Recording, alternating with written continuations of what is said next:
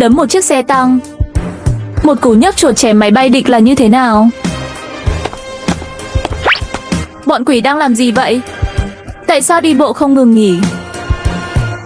Này, trên chân bọn quỷ này Mang không phải giày vải thông thường Họ đi ủng quân đội đặt làm riêng Đám quỷ này không phải là hạng người bình thường Nhìn quần áo của quỷ trước mắt Giống như lũ quỷ tấn công làng Bạch Gia Tôi phải đi theo họ Xem họ làm gì.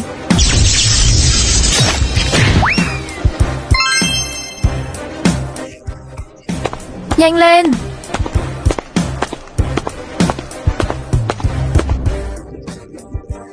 Các người thấy Vương Thần đi đâu rồi? Lý Vân Long tìm Vương Thần có chuyện quan trọng thương lượng. Tìm nửa ngày cũng không thấy bóng người. Hỏi ai cũng không biết Vương Thần làm gì.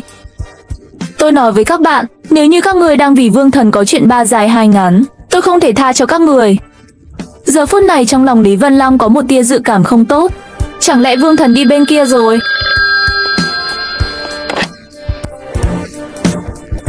Thủ trưởng là tốt Xin bạn yên tâm, trung đoàn độc lập của chúng ta nhất định sẽ hoàn thành nhiệm vụ. Các bạn có khó khăn gì có thể đề cập đến.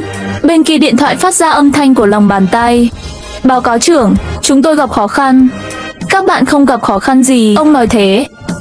Nếu bàn tay mất một sợi tóc, tôi lấy bạn là hỏi. Nếu là lòng bàn tay, dây thừng, các ngươi đều chuẩn bị bị bị phạt. Chúng ta nhất định sẽ thể bảo vệ bàn tay. Lý Vân Long biết rõ tầm quan trọng của nhiệm vụ này, không dám bỏ bê. Đồng thời trong lòng còn nhớ đến Vương Thần, sợ hắn sẽ gặp nguy hiểm. Trương Đại Bưu, anh ở lại với một tiểu đoàn, ở đây chờ Vương Chính ủy, nhất định phải đảm bảo an toàn cho chính ủy. Tuyệt đối không thể có bất kỳ sai lầm nào. Sau khi gặp Vương Thần, lập tức đến Triệu Gia Ngọc gặp chúng tôi. Là trưởng đoàn, Tiểu đoàn 2, tiểu đoàn 3, lực lượng đặc biệt nghe lệnh, lập tức tiến về hướng Triệu Gia Ngọc. Hoàn thành nhiệm vụ bảo vệ bàn tay rút lui.